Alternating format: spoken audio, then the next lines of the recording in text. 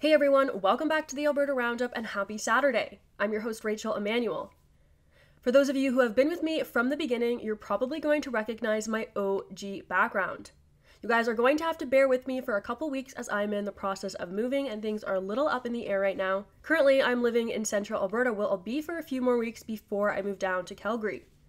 But before I move on, I have to give a shout out to all my Central Alberta fans. I've met so many of you over the past couple of weeks. In fact, something very interesting happened to me this week. On Thursday, I was preparing for the show when I heard a knock on the door. It was Michelle Baer, the NDP candidate for Red Deer South. Now, unfortunately, the NDP refused to take media requests from True North. They say they don't want any dealings with our credible news organization. So, Michelle, my wish for you is that you will take my media requests and those of my colleagues at True North.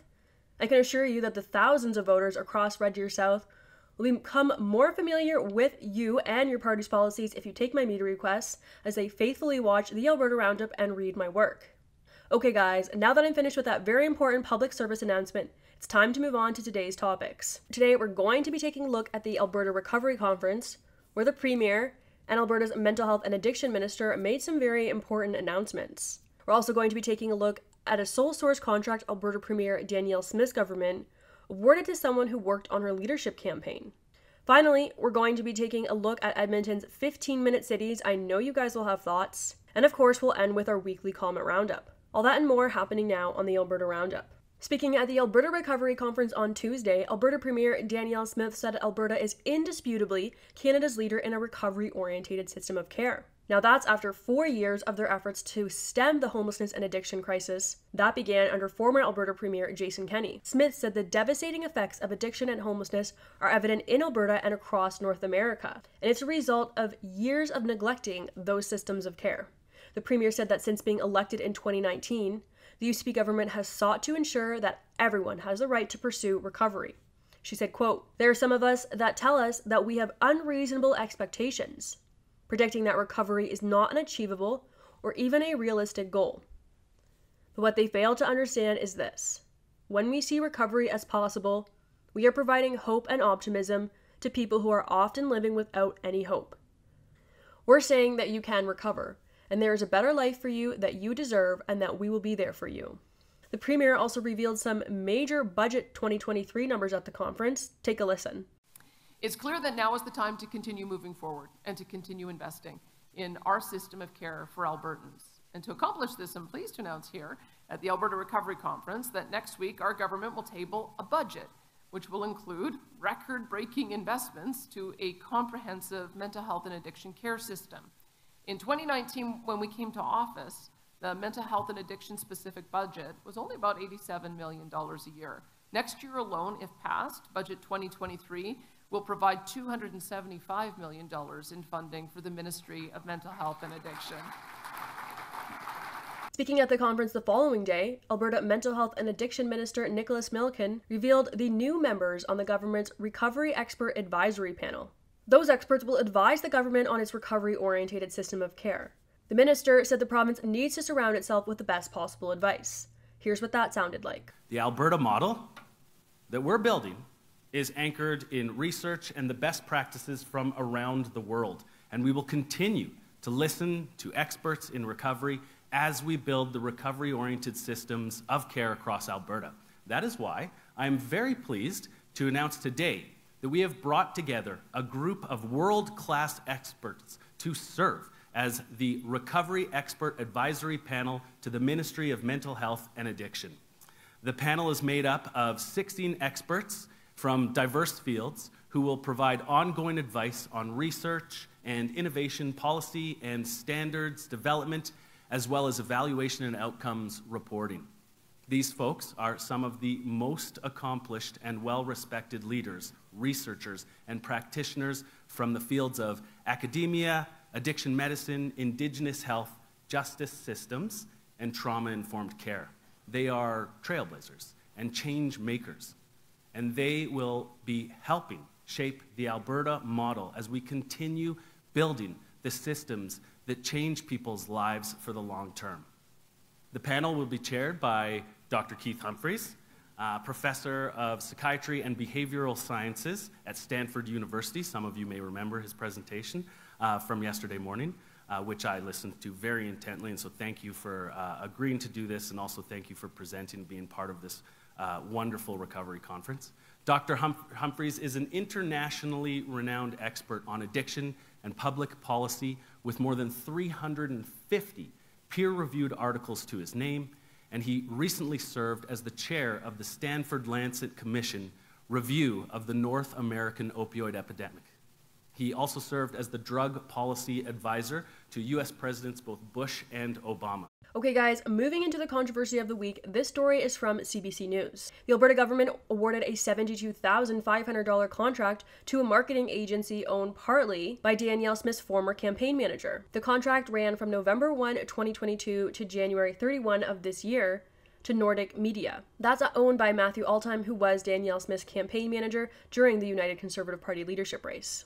The contract was provided for digital media planning and strategic development. According to CBC News, sole source contract, which provides services purchased by Alberta government departments without going out for bids, are permitted under specific circumstances. In the case of the Nordic Media sole source contract, the government of Alberta said this Where an unforeseeable situation of urgency exists, and the services or the goods or services in respect of construction could not be obtained by means of open procurement procedures. I would be curious to see a little bit more numbers. $72,000 over three months is a lot of money. It is being paid to a company. I'm curious what the amount of hours of work were put in, as well as how many people were paid under this contract. Let me know what you guys think in the comments below. Do you think that this is a questionable contract, or do you think it makes sense that the Premier would have given this contract to a company with affiliations with her leadership campaign? Moving into what we're watching, we're finally going to talk about Edmonton's 15 minute cities. Edmonton recently announced that it's pursuing a neighborhood development plan aimed at creating a community of communities, or small towns in our big city, in which residents can access everything they need within a short distance from home. According to the National Post, the plan was inspired by the concept of 15 minute cities, which is aimed at having neighborhoods with all amenities within a quarter hour bike or walk. That includes groceries, schools, daycare, leisure, fitness, entertainment, and other amenities like shops and restaurants. But critics claim that such a proposal would bar people from traveling to per- certain parts of the city, and that you'd be forced to spend 90% of your life within your own district while being monitored for carbon emissions. Of course, the City of Edmonton's proposal so far includes nothing of the sort. So, a couple of weeks ago, I believe this happened two weeks ago, there was a press conference and a city planner sought to answer some of the questions people had about 15 minute cities. No, no, I didn't ask you if it would mean. I asked you. I asked you specific. I no, no, he's lying again. I asked you. I just told you the answer. You there li- will be in some places. Are they not removing parking spaces? Are they not removing places where cars can drive? Are they not making other places where cars, only electric cars can drive? So ultimately, you're saying that there's going to be less space and less infrastructure to support cars. So in the places less where space bike, and less where bike lanes no, are built, overall, it could use car no, space. no, no. I answer your Overall, and overall, will the average person have less places to drive their car, less places to park their car, and more incentives not to have a car? Will there be less places for me to park a car in Edmonton under the 15 minute city? Let's try a very simple question. Okay, so let's few- let's simplify them. Yes or no? So fewer- Will there be less parking for my car in my new district under a 15 minute city? Free- um, Yes said- or no? You already said no. Yes, there will be less places where roadway changes are so done in other to accommodate words, more so things. in other words, the 15 minute city is literally intentioned to try to drive us away from private car ownership and onto other means of travel like electric scooters and walking so we don't have the same mobility that we once had.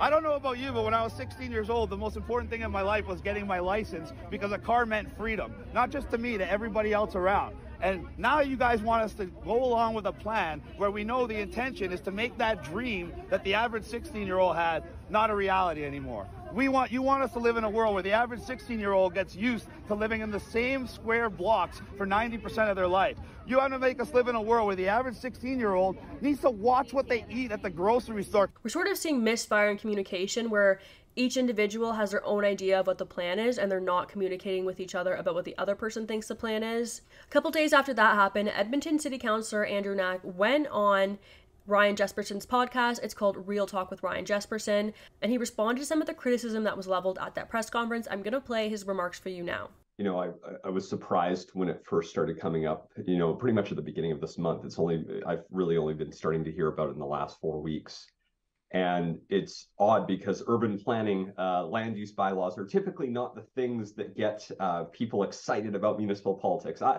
I love it, uh, but I also realize I'm typically an outlier in this scenario. And so to see the the notion of of what essentially is you know what we would call walkable communities or thinking about what cities used to look like in the 1940s and 50s and 60s where you had a neighborhood convenience store grocery store and pharmacy um, to see that morph into what what we're now talking about this notion about uh, government going to be locking people down it's it's hard because i think in principle everyone loves the idea of having things closer to their home to at least have the choice to access it. And yet now it's become something really nefarious in some people's minds. Now, I've spent a lot of time living in downtown cities. I would have to say one of the things I love most about it is not having to have a vehicle. I love being able to just walk across the street to get a bite to eat and walk down the street a couple blocks to get groceries. But of course, we have to consider the criticism as well. There is many people who no longer believe that anything the government does is in their best interest, and a lot of people have lost faith in their government following the COVID-19 pandemic. So this is my question of the day for you guys. What do you think about 15-minute cities? Do you see the appeal? Do you think it's misguided? Or do you think it's a bad plan from the city that's secretly intended to keep people locked within a short radius from their home? Let me know what you guys think, and I'll read your comments next week. Okay, guys, moving into my daily comment roundup now. User Claude Quinton said the decision to enact the Emergency Act was wrong, and the ruling that it was legal has put Canada in an unusual position. Big businesses will be concerned that if they publish a policy that the government disagrees with, the government could freeze their assets and their bank accounts just as happened in Cuba. And finally, one last comment here. User Hillquest Dual Support says, I watched the live release of your doc and appreciated that you chose to interview varying views. Nicely done. After one year, and now that most of the truths have come out, I still don't believe it was necessary to invoke the Emergencies Act. Although three weeks of the Freedom Convoy, the protesters made their point and something needed to be done to end it. The protest would never have got to that point if Justin Trudeau would have talked to them, and it would have ended with an entirely different outcome. I really agree with some of the comments here. I don't think the Prime Minister did himself any favors by his inflammatory remarks calling protesters and supporters of the convoy you know, a fringe minority with radical views. It only took the Prime Minister one year to admit that those remarks were a mistake, following the Commission's report, which did in many ways kind of eviscerate the Prime Minister's actions during the Freedom Convoy. Okay, guys, that's all I have for you today. A friendly reminder that you can still watch my documentary, The Freedom Occupation, online at freedomoccupation.ca. And if you want to support our work, you can absolutely do that on that website. And of course, you can also go to donate.tnc.news. Thanks so much for tuning in. I hope that you guys have a great rest of your weekend and God bless.